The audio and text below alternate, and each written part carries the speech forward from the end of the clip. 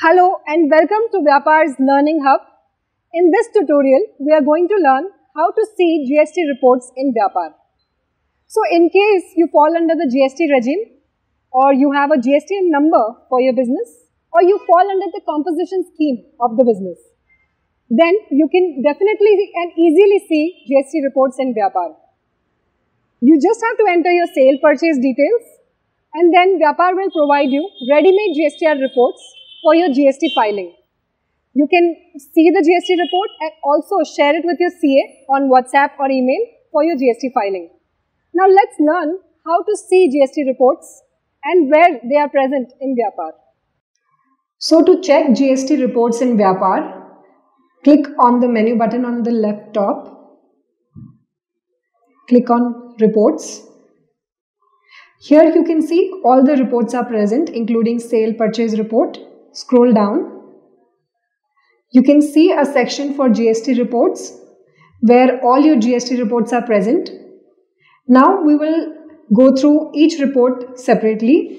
GSTR 1 report has details regarding your sales. You can see an Excel icon on the right top. You can click on it and share the reports with your CA right from here. GSTR 2 report. It has details regarding your purchases and it also has purchase bills in which reverse charge is applied. GSTR 3B report is a summary of your sales and purchases. Again, you can share this report directly from here with your CA for your GST filing through WhatsApp, email or any other mode. GST detailed report is the detailed report of your GST. GSTR 9 report. This is the annual return file which a taxpayer files it every year.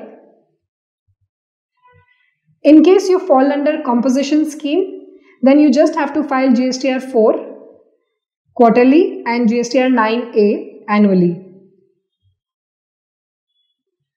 If you have gone to the settings and switched on the composition scheme, then you will see the reports only that you need to file for composition scheme.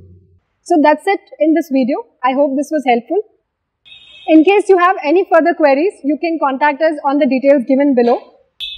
Please subscribe to our YouTube channel and don't forget to press the bell icon so that you can get updates from our side on a regular basis. Happy Vyaparing!